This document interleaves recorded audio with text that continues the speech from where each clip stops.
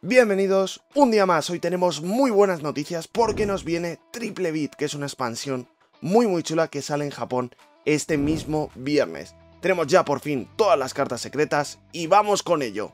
En este caso tenemos primera carta que sería Tropius.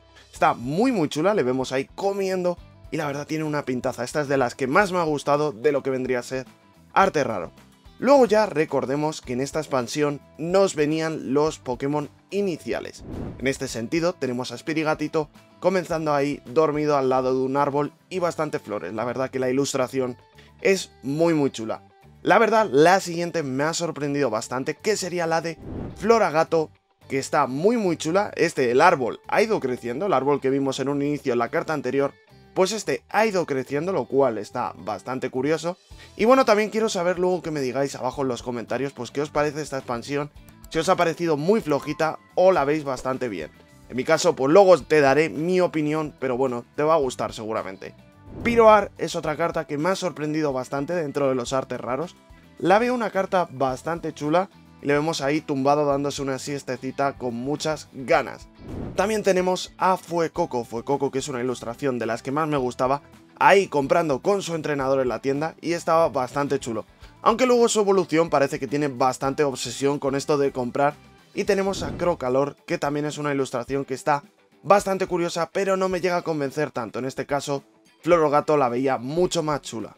Una de las cartas más chulas de este set sería este Magikarp que tienes aquí. A mí me parece una auténtica chulada lo tenemos y además tenemos de fondo a lo cual es una carta muy muy chula. Quasley es uno de los iniciales, que no está nada mal, le vemos ahí en el espejo, pero yo creo que sus evoluciones no la han sabido sacar partido. Esta sería la mejor carta del Pokémon de tipo Pato.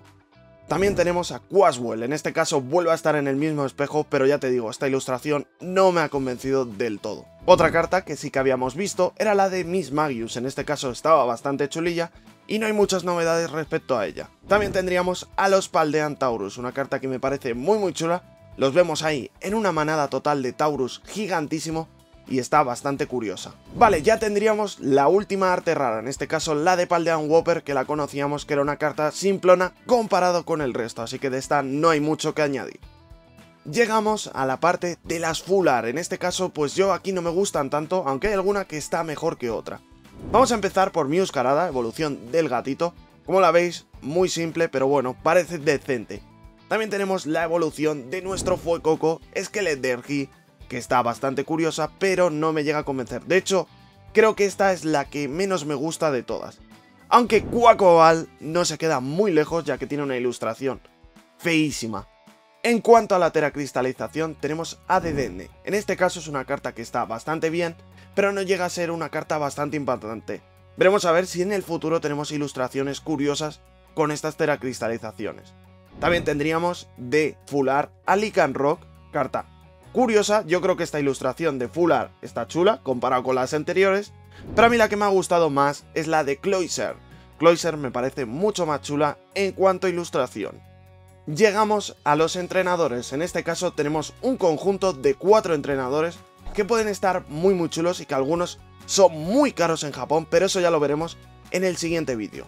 Tenemos a Kendra, o Dendra en inglés, que está bastante chulilla, que esta ya la habíamos visto, era la entrenadora, la teníamos ahí bastante bien. También tenemos al profesor Clavel, en este caso bastante chulo, con su estilo característico, le vemos ahí muy muy chulo.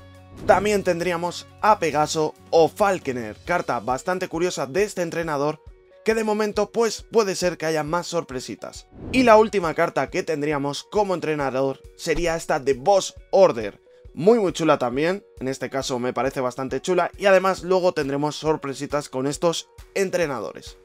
Llegamos a las partes de las SAR, en este caso las Special Art y abrimos la vela con Mescaorada X. Muy muy chula esta ilustración, llegamos al final de la evolución de este Pokémon y además el árbol ha llegado a su punto final, la verdad que eso le da un toque de chulada. En el caso de la evolución de Fuecoco, es que le dirge no me convence tanto, aunque está ahí finalizando su compra, parece que ha sido eterno esa compra en el supermercado.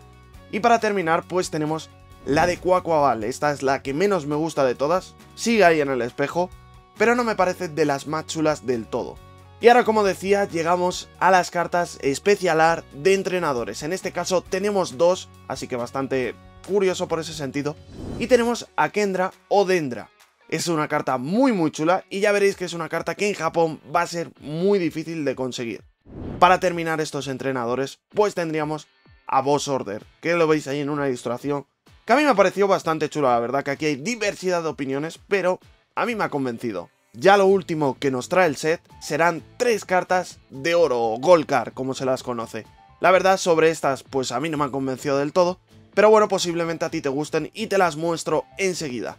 Tenemos a mi Oscarada, su versión de dorada, que es básicamente la Full Art, pero dorada, por lo menos conserva los colores, lo cual está guay. También tenemos a Dirger en su versión dorada, que como digo, esta es la que menos me gusta de las tres, me quedaría con el gatito, y para finalizar tenemos a ese Cuacuabal, curioso pero me parece la más horrible de todas. Y bueno, visto todo esto de la expansión de Triple Beat, ¿a ti qué te ha parecido? Déjame en los comentarios qué te ha parecido toda esta expansión. A mí la verdad parece ser que me parece suficiente y me parece una expansión muy interesante, así que intentaré conseguir algunas de estas cartas y algunas de estas cajitas. Pero antes de irte, lo primero agradecerte que te hayas quedado hasta aquí del vídeo, Sabéis que me apoyáis muchísimo y yo lo agradezco muchísimo. Y también te dejo un vídeo que si no has visto de la Mystery Boss que estuvimos abriendo. Que la verdad me gustaría mucho que lo vieras ya que es una auténtica pasada. Tiene muchísimas cosas y seguro que te va a gustar. Así que nada chicos, muchísimas gracias por llegar hasta este punto y nos vemos en el próximo vídeo. ¡Hasta luego!